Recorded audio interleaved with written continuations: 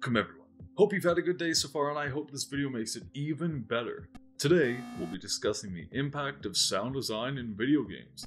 We'll be talking about the evolution, techniques, and immersion of gaming soundscapes.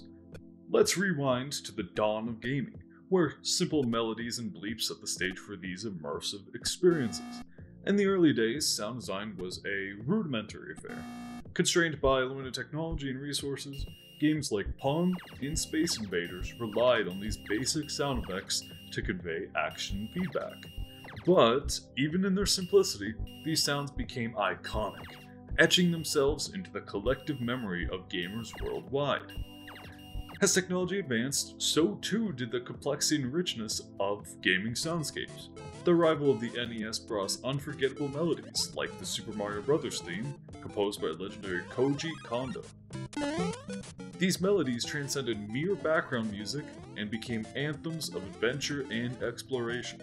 With the advent of CD-ROM technology in the 90s, these game developers gained access to larger storage capacities, allowing for higher audio samples and longer musical compositions.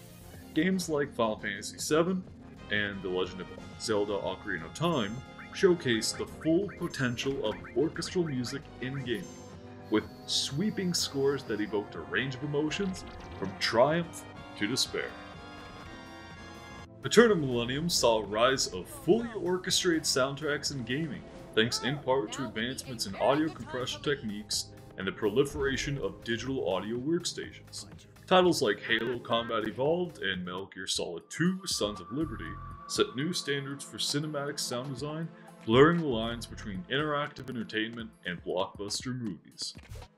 Today, soundscapes continue to evolve at an unprecedented pace, with composers and sound designers pushing the boundaries of creativity and innovation with every new release.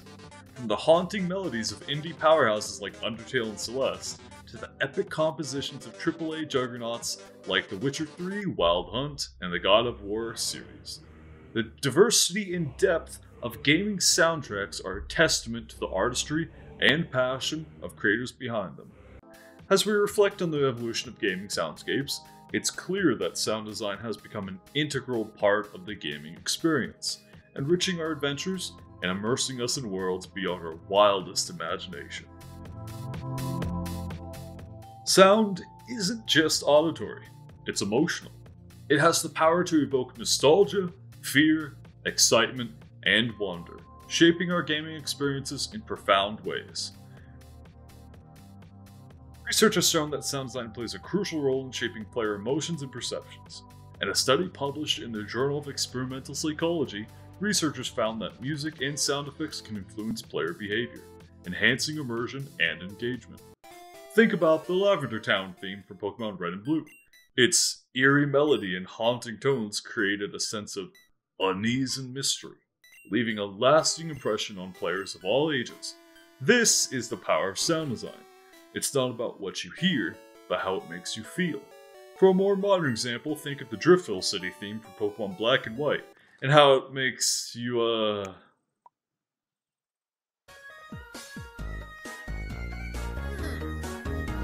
Behind every captivating sound in gaming lies a team of dedicated audio engineers, composers, and sound designers. Their craft blends technology with artistry, transforming raw sounds into immersive experiences that breathe life into virtual worlds.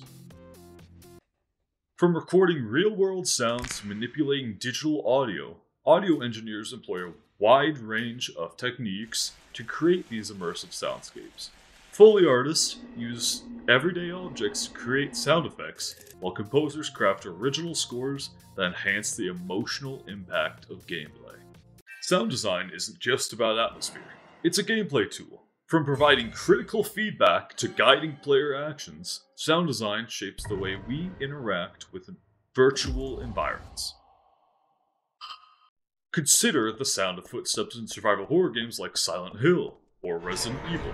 The intensity and frequency of footsteps can convey a sense of urgency or impending danger, heightening the tension and immersing players in the game world. With advancements in audio technology, the boundaries of gaming soundscapes continue to expand. From surround sound systems to dynamic audio engines, developers are pushing the limits of immersion. One of the most exciting developments in gaming audio is the rise of spatial audio technologies, such as Dolby Atmos, THX, and DTS:X. These technologies all create a three-dimensional audio environment, allowing players to experience sound coming from all directions. Whether it's the rumble of distant thunder or the whisper of an enemy behind you, spatial audio adds a new dimension to gaming immersion. At the heart of it all lies the player experience. The true measure of success for sound design is its ability to captivate, inspire, and immerse players in unforgettable gaming adventures. For many gamers, sound design is more than just a technical aspect of game development. It's a fundamental part of the gaming experience.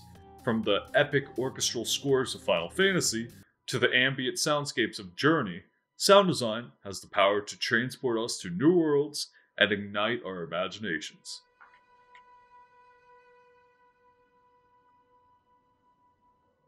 As we conclude our journey through the symphony of gaming, let's take a moment to appreciate the magic of sound design. From its humble beginnings to its transcendent heights, sound design continues to redefine the boundaries of interactive storytelling. If you like this video, make sure to hit that like button, hit that subscribe button, and if you want to influence what I make in the future, or how I can make it in the future, you can comment in the comment section below. Tell me what you want to see. Do you want to see gaming videos? I stream over on my Twitch at twitch.tv slash the so I can also take some of those streams from Twitch, edit them down, and put them on YouTube if you'd prefer. I'm always making community posts. I stay active within my Discord if you ever want to join that. The link's always below. And yeah, I decided to make this quite a bit shorter. I wanted this video essay to feel palatable. I want you to be able to watch in between two videos without falling asleep in the middle of it. So I'll probably make things about this length going forward. No promises. Sometimes, you know, some videos need more length, some don't. Yeah. Um, I'll end it there. And until next time, see you guys later. Peace.